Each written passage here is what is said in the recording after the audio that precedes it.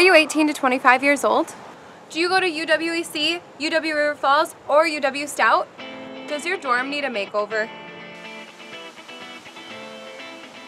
Does your apartment need a makeover? Well then you can enter my super cool contest. Dorm Room Makeover! Dorm Makeover contest is when you can win up to $250 to redo your dorm room or your apartment.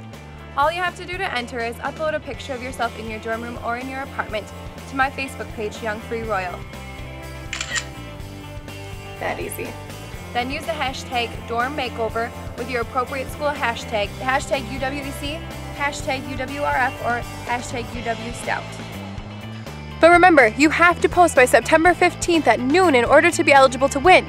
And starting September 16, you can have all of your friends vote for your awesome dorm room picture. Voting ends September 22nd at noon, so get your friends to vote as early as possible. Don't forget, there are only three steps to enter. Take a selfie in your dorm room or in your apartment, upload it to my Facebook wall, Young Free Royal, with the hashtag dorm makeover and your appropriate school hashtag, and then three, get your friends to vote for you. And then you win all these cool prizes.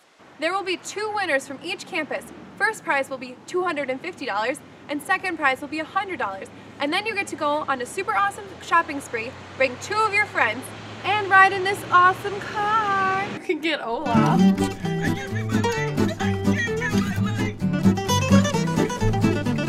this is amazing. Ah. One of these for sure. That's fuzzy, we need that. I think like 12 lava lamps. Just would really love a baby chair. I think this is really cool. It only takes a couple of seconds to enter, and I'm really excited to make your dorm room something exciting and spectacular. This is Shadow from Young and Free Royal, powered by Royal Credit Union.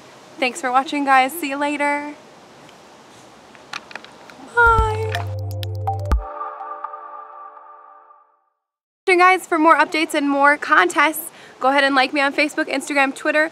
The links are down below. And also follow my blog for more video tips and ways to save the money that you work really hard to earn. Thanks guys, bye!